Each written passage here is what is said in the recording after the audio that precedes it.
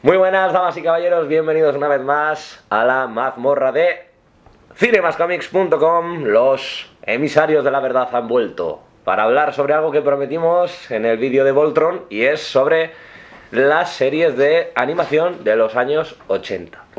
¿Vale? O sea, la tendencia que tenía esta gente a hacer robots muy grandes. Y hacer alienígenas, y bichos raros, y mutantes, y cosas extrañas. Series de los 80 que no sé si la gente recordará. Bueno, aparte de Voltron, pues teníamos, por ejemplo, Robotech, que se intentaba ser una serie más o menos de invasión alienígena con robots, naves que se convertían en robots. Todos robots y Los. Transformers, no vamos a olvidar de los Transformers, lógicamente. Robocop. Por ejemplo, Cops, que Oh, tú has llegado a verla. Cops, Comando Organizado de Policía Superior, nos venía con una No, traducción tío. Había un eh, latinoamericana. Había un... Sí, había un perro robot. dentro. Era un Carly, ¿no? No, era No, un eh, pastor alemán, creo. en realidad era una bola con cabeza y cuatro patas, no nos engañemos. Madre mía de mi vida. Y la tendencia de los 80, Thundercats, eso de que Sí, sí, existían sí. los Ring Riders, o sea, había, los 80 produjeron, ya digo, el Diapolón que dijimos que dije el otro día, o... Mucho sinte en la intro y, y mucho robot. Sí, bueno... Los 80 era una época muy oscura. Y Los donde- 80 resultaron en animación... La- el alcohol es malo, ¿eh? Una época Muy malo. muy nutrida porque los norteamericanos hicieron mucha animación para la televisión, se- les encantó arrancarse y lanzar un montón de esto porque la gente lo veía. Joder, Dragones y mazmorras desde esa época, Sí. es una serie que se basa en un juego de rol que no se parece nada al juego de rol a la animación, pero quiero decir, una, una época en la que la animación despegó muchísimo, los americanos lanzaron mucho. Pero- ¿Qué ocurre? Que casi cualquier idea les valía. Ese es el problema. Yo creo que los años 90 fue un poco más de madurez en la serie de animación, ¿eh? Sí, también de caída. También fue la destrucción. Al final, de- al de los- final. el principio del siglo XXI es el principio del el final de la animación masiva. Sí. Y empezó un poco la animación específica para niños, Ahora las series... para adultos. Y bueno, Ahora las series de animación, yo exceptuando los animes más sugerentes, tipo Full Metal Alchemist, Death Note, Guns, sea, tipo de, ma- de, de anime así, yo siempre he recomendado uno que era. No sé si mucha gente lo habrá visto. Tiene ya bastantes años, que era. El Conde de Montecristo en versión de una productora japonesa está muy bien los efectos por ordenador que tiene. La animación es 2D sobre un fondo de ordenador 3D, ¿vale? Es muy potente, visualmente muy buena, pero además es que ¿El es ciencia ficción. el nombre de ¿Eso es de Conde... ¿Eso es de los 80? No, eso es, es actual. Es- Estás hablando de que, de que los años 80 pues tenía una tendencia que ahora se ha destruido. Pero si ves las series de en los- animación pero sin embargo, actualmente... los 80 también fueron la fuente de algunas series de animación japonesas que llegaron a Occidente muy, muy potentes.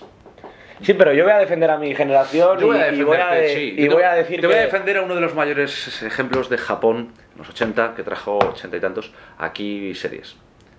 Hayao Miyazaki. Eso es verdad, es verdad, Sherlock tío. Holmes. Conan, el niño del futuro. La aldea del arce. Todo eso es Miyazaki, tronco. Mira, a ver, mi- pero es que, es que estás hablando de... de- 80, de como un 90, dios. esa época en la que llegó. La, la serie de Conan, de, de He-Man. Yo- No, no, no. yo Sí, voy- pero eso yo voy a defender alguna serie. Filmation, Filmation, que se decía, eh, trajo una serie de, de dibujos animados que servían para vender muñecos, ¿vale? Igual que la Mattel también hizo un montón de series para poder vender muñecos. Es decir, había G.I. Joe, o sea, eran soldados que funcionaban con... Como más que fusiles, eran linternitas de luz. Pero bueno, no vamos a meternos más. Yo, yo voy a defender algo que se ha hecho bien en el siglo XXI, que es el haber podido tener series como eh, Futurama, eh, Padre de Familia, South Park y este tipo ¿Te de has dado cuenta cuántos cositas. años tienen los Simpsons, no? Sí, hombre, los Simpsons sí, pero yo, yo no he dicho los Simpsons. Ah, Los Simpsons nacieron... A, eh, a finales de los 80, o sea, Ah, sí, a finales de los 80, sí.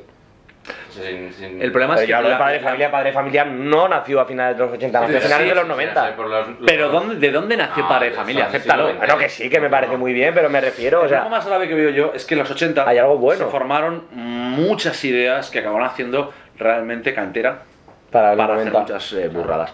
De hecho, algo que deberías saber es que mucha de esa gente que estaba en animación, mucha gente en los 80 y los 90 se metió a animación, era gente que salía del mundo del cómic. ¿eh? Quiero decir, eran ideas muy locas muchas veces, eran ideas muy interesantes y algunas de ellas realmente extravagantes. O sea, Thundercats, una raza de tíos perdida en otro planeta, una raza felina que se encuentran peleando contra otros bichos, eh, que, otros seres que eran medio animales, medio animales antropomorfizados en realidad, con una momia que tenía una pirámide y se convertía en un brujo, un nigromante, que peleaban por el dominio de un planeta. O sea, te pones a ver los elementos por separado, un nigromante, eh, tenías eh, ciencia ficción, todos, había tanques, pero peleaban con espadas. Había cañones láser los utilizaban, pero acababan peleándose a puño limpio. Eso era muy realmente por vender dibujos. Bueno, de tu generación robots y de la mía monigotes que parecen animales. Como Pokémon y Digimon. Sí. Oye, que Digimon era curioso. Mm. Joder, Digimon estaba bien. El problema realmente que tenemos el... ¿Tú cuál es la mejor serie que has visto de animación de tu infancia? ¿Tu preferida? ¿De cuando yo era niño? Sí. Pues yo ahora mismo te puedo decir que me sigo acordando mucho de Conan el niño del futuro, porque a mí me, marcó mucho porque era la primera serie seria bruta de animación japonesa que veía. Y eso era japonesa, o sea, todo el mundo estaba, no sé por qué extraña estupidez, habían visto Heidi y yo Heidi a mí me daba asco. Yo le guardo mucho cariño a Gárgolas. Además eso- ha envejecido muy bien, ¿eh? Sí, la verdad es que no está nada mal, son uno de los productos de Disney más extraños de ver. Recomiendo reponerla, o sea, re- reverla. El problema de Gárgolas fue que al final, a nivel técnico... Pero escucha, o sea, ha envejecido muy bien, no es como ET. ¿Vale? O sea, es- esta serie ha envejecido súper bien. Bueno, si queréis ver alguna vez alguna ejemplos, joder, ejemplos de mi infancia, tío, yo Dale, dale. yo veía en TV3, aquí en, en- tenías que verlo en TV3 porque no había otro sitio que alcanzara o tuviera autonómicas cerca, yo podía verlo en TV3, un canal no, que según yo tenía que verlo, veía Dragon Ball. Hostia. Y Dragon Ball de no, qué no. son? Bola de drag. Bola de Drag, Dragon Ball, eh, que... Yo Doraemon veía en mi pueblo. Eso en los 90 ya. Sí, sí. Que es que, que, es que se Pero quiere meter en mi generación. Los 90, ¿no? Que quiere que metes ahí en mi Nintendo. TV3, sí, Capitán Nintendo, si quieres hablemos algún día, los de animación de Link. Generación Nintendo. ¿eh? Capitán Nintendo que iba con un mando de la... Triforce. De la 8 bits en la cintura, iba con la pistola de la 8 bits y estaba por ahí. Triforce. Pero en realidad, siento deciroslo, ¿qué año creéis? ¿Cuántos años creéis que tenía yo cuando vi por primera vez Dragon Ball? Pero lo que yo- Es un unos 10 vampiro. años, unos 8, unos 9, 10 años. Y eso significa, sin ofender, unos 10 añitos, esos, Tú eres un sucubo. Son finales de los 80. Eres un sucubo. O sea, que eso es, hablamos de que no es tan novedoso como todo el mundo quiere creer. Dragon Ball ha estado muchos Es años, hecho ochentera. muchos eh. remakes. Hasta en Dragon los Ball 80. Z es de la primera de los 80. La primera de Dragon Ball Z, de todas las que hay, la última es la resurrección de F, la primera es del 88 o del 86. No, Fíjate lo que 86 te no, digo. Pero Te digo yo que no es de lo los 90. discutiremos otro día. Que no, no, no, Vamos a cortar porque es que pero yo- las series de animación pueden ser un brutal. Yo de Sí. las actuales se han hecho. Dejarnos lo- la gente más nostálgica que nos deje Sí, cuál es su hablando, serie favorita de los llegar 80. dando mal con esto porque es un gran tema. Sí. Y deciros que. Y también de los 90 o no, y de vuestra De generación. que animación actual, él habla de que veáis gárgolas de los 90 por ser actualizada, Sí. funciona. Yo os lo digo, buscad una serie que se llama Young Justice, es de Rebels. la Warner, es de Rebels. DC. Hora de aventuras. Yo a esa la defiendo. Ahora somos Oh, un, maravilla. me parece una maravilla para reírte, pero bueno. Son dibujos animados muy actuales. Buscad Young Justice si os gustan los superhéroes porque esa funciona muy bien. Y Warner se esfuerza mucho. Y hasta otra. Hora de aventuras.